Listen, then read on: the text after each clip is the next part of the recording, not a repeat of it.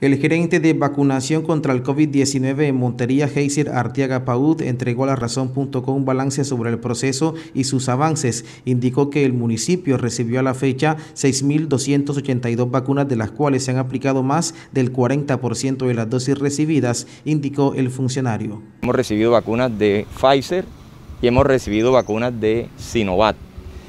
Esas vacunas se han distribuido eh, inicialmente 900 dosis para el personal adulto mayor de 80 años. Para el asilo de ancianos perpetuos socorro, los centros de vida y un adulto mayor que está privado de la libertad en la cárcel nacional Las Mercedes, se destinaron 25 dosis.